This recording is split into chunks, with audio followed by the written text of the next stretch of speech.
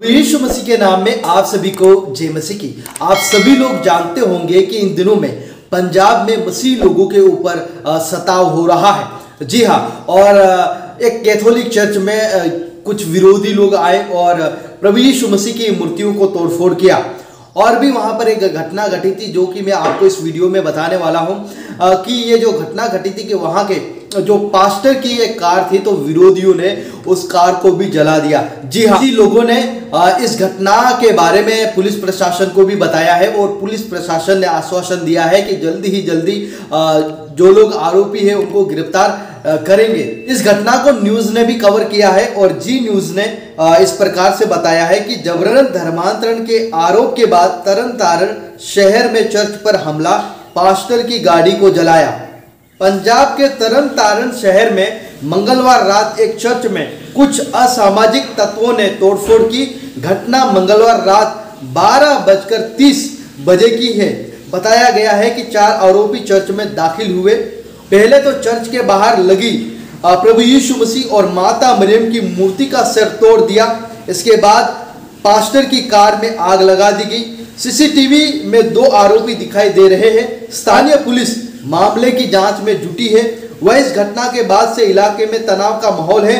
Police की कई टीमें आरोपियों की तलाश कर रही है।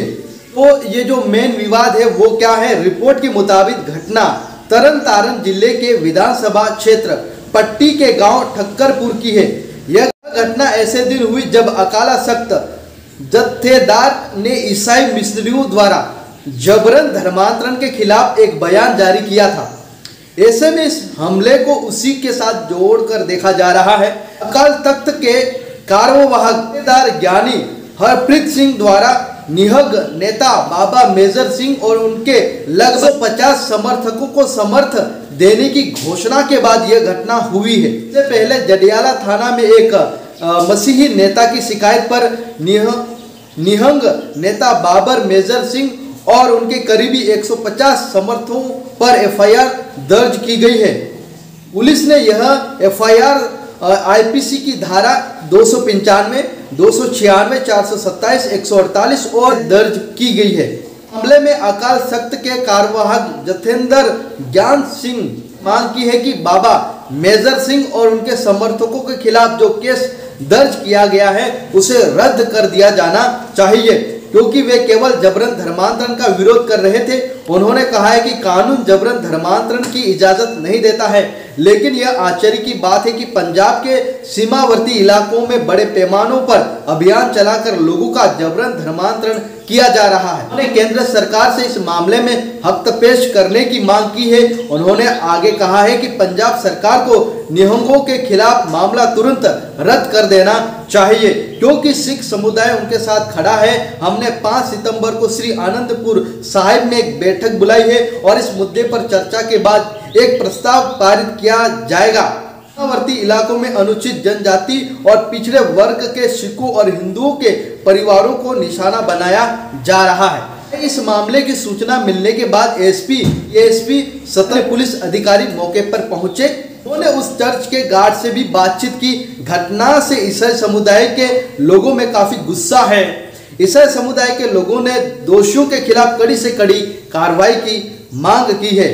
जिस चर्च में यह हमला हुआ है, वहाँ पर चार जो विरोधी लोग आए थे, और दो लोग तो हम सीसीटीवी कैमरे में देख सकते हैं, जिन्होंने प्रभु यीशु मसीह की मूर्ति और मरियम की मूर्ति को तोड़फोड़ किया था, और उसके बाद कार को भी आग लगा दी गई थी, और गार्ड, वहाँ जो गार्ड लगे थे, उनके ऊपर भी पिस्तौल तान के रखी थी, ताकि ये भागने ना पाए, और इस प्रकार की जो घटना घटी थी, वो रात के 12 बजे ये घटना घटी थी और पुलिस प्रशासन उसकी कार्रवाई कर रहा है। अ, लेकिन मेरे प्रियो हमें अ, उनके लिए प्रार्थना करना चाहिए कि जो लोग इस प्रकार के काम कर रहे हैं प्रभु अ, उनको सद्बुद्धि दे उनको ज्ञान दे क्योंकि परमेश्वर का वचन हमें बदला लेने के लिए नहीं लेकिन प्रेम करने के बारे में हमें बताता है कि अपने दुश्मनों से भी क्या करो प्रेम करो। तो परमेश्वर उनका न्याय है वो खुद करेगा। मसीह समाज में शांति बनाए रखना है। और प्रार्थना करें कि ऐसी घटनाएँ हो रही है प्रभु सबको आशीष दे सबको सद्बुद्धि दे। आप सभी को जय मसीह की प्रेज लॉर्ड